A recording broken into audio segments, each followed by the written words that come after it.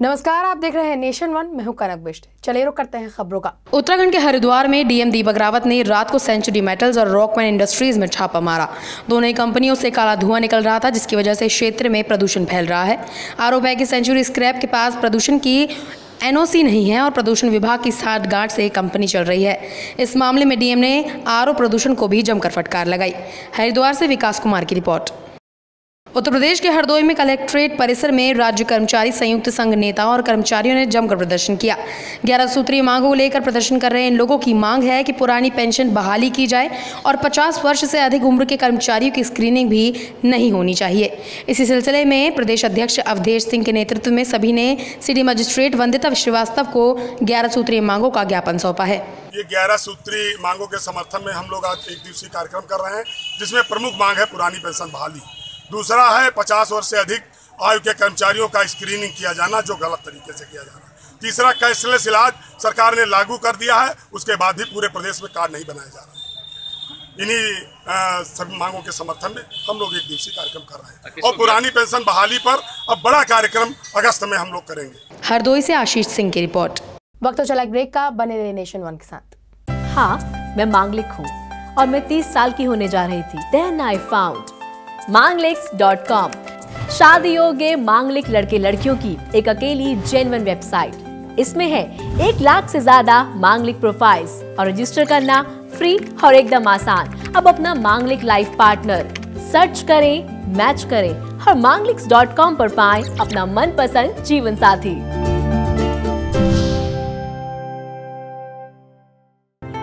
To register on To register on manglix.com, use promo code NATION1. Break के बाद रुक करेंगे अगली खबर का। उत्तर प्रदेश के बागपत ज़िले के बडौत कोतवाली क्षेत्र से दबंगों की दबंगई की कुछ तस्वीरें सामने आई हैं जिसमें दबंग मामूली सी बात पर एक युवक को जमकर लादघू से मारते हुए नज़र आ रहे हैं। गनीमत ये रही कि मीडिया कर्मी के मौके पर पहुँचने पर दबंगों ने युवक को पीटना बंद कर दिया और उसे अधमरा करके भाग गए। पुलिस का कहना है कि उनको इसकी सूचना मिली थी लेकिन जब तक वो घटनास्थल पर पहुँचे तब तक वहाँ कोई मौजूद नहीं था। फ़िलहाल पुलिस दबंगों की तलाश कर रही है। दिल्ली बस स्टैंड के पास सुबह कुछ लड़कों के आपस में लड़ाई झगड़ा की सूचना मिली थी।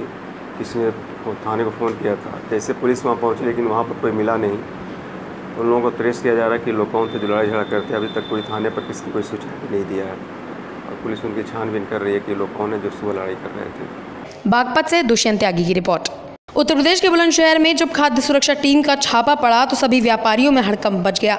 वही सिकंदराबाद स्थित चल रहे बड़े तेल के खेल पर पर्दा उठ गया है, क्योंकि जब खाद्य सुरक्षा टीम ने आशा ट्रेडर्स की फैक्ट्री पर छापा मारा तो पता चला कि सिर्फ़ सरसों के तेल के लाइसेंस में रिफाइंड, तिल के तेल की भारी मात्रा में पैकिंग की जा रही थी।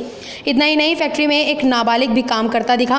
खाद्य सुरक्षा अफसर डॉक्टर गौरीशंकर ने अपनी टीम के साथ 6000 लीटर रिफाइंड ऑयल 500 लीटर सरसों का ऑयल और 150 लीटर तिल के तेल को सीज कर दिया है और तीनों तेल के सैंपल जाँच के लिए प्रयोगशाला भेज दिए गए हैं।